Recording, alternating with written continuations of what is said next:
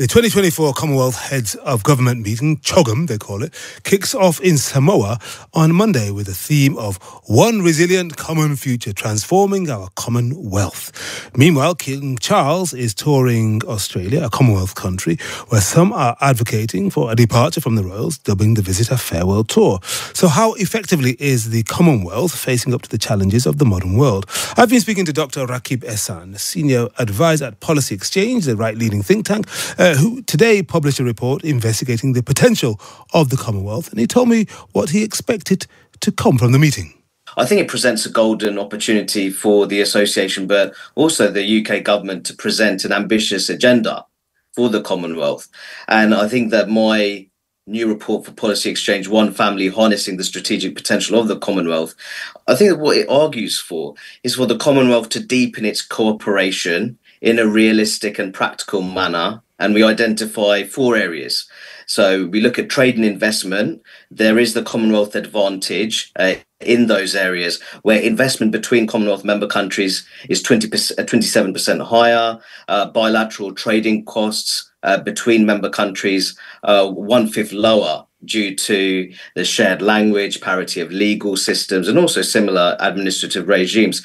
But we also argue for greater collaboration in areas such as environmental protection, education, and social mobility. I think there's a great deal of potential which needs to be harnessed uh, in terms of human potential. And I think also we have to lean into those areas of security and defense as well.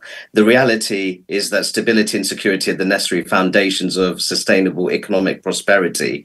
So in terms of the Commonwealth, I think it's actually punching under its weight, and I think it needs to lean into those areas, admittedly sensitive areas of security and defence, in order to be a truly relevant actor in international relations. Well, it's interesting you say it punches below its uh, weight, and it's been around in its modern form um, since 1949. So we're talking 75 years. What is it mm. that hampers it? Why does it appear to be punching below its weight?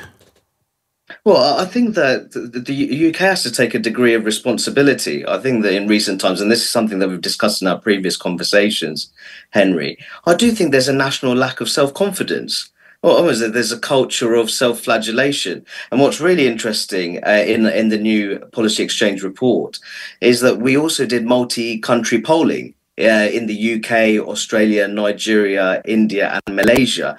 And it showed that when compared to their British counterparts, uh, members of the Indian and Nigerian publics were more likely to think that the UK does more good than harm in the world. And I think there's a great deal of goodwill and affection towards the UK within the Commonwealth. Well, that might strike some of our listeners, Rakib, as extraordinary. How do you even begin to explain that people in uh, Nigeria and um, uh, India, two countries that were colonized at times viciously by Britain, have a greater sense of affection and belief in what Britain does in the world than people in this country. How do you explain that? Well, I think there's a certain appreciation of traditional British institutions uh, in those countries, which are often overlooked, and that, that includes the royal family. There are a great number of people who appreciate the role that the late Queen Elizabeth II played in spearheading that transition from imperial control to voluntary association. And I think that what's really interesting is that when you look at how other European former colonial powers have struggled to rebuild those post colonial ties, uh, Britain has been overall very successful on that front, to, to the point that the Commonwealth includes countries which have no historic or colonial links uh, with the UK. That includes Mozambique, uh, Namibia, and Rwanda. And two of the newest members of the Commonwealth were Togo and Gabon, which are former parts of the French Empire. So I think that there's a great deal of goodwill and affection within the Commonwealth uh, towards the UK. And I think the UK needs to be more confident and take up that role in terms of spearheading reform of the Commonwealth in order to make a more practical and relevant association on the international stage. It's interesting you say, you mention a number of countries that were part of this old Francophone empire and that mm. have joined um, the Commonwealth. Um, one wonders why, given that member states don't necessarily get genuine benefits. So, for example, if you're a member of the EU, or we're a member of the EU as we were, um, the free movement of goods, people, services, capital, you don't get that in anything like the same form between Commonwealth nations, between the 56 Commonwealth. So, how does one make it much more effective, much more attractive? How does one, I mean, you've been talking about expanding the Commonwealth to other countries in the Middle East and North Africa. Why would they want to join?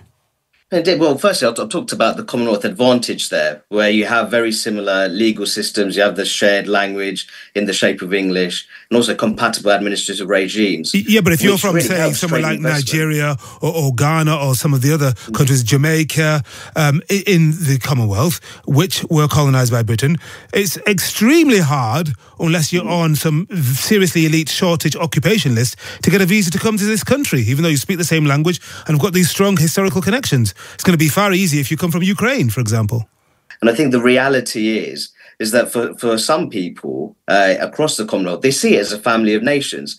Now, they might not see eye to eye on every single issue, but that there, there, there is at least is at least an attempt to have a shared commitment to um, common democratic principles, fair economic collaboration, but also protection of the environment, improving educational outcomes. And I think that countries such as Togo and Gabon, they see the Commonwealth as an opportunity to build themselves up in those areas. And I think that's a very important part of why the UK should promote the Commonwealth and actually be more confident of its own position within it.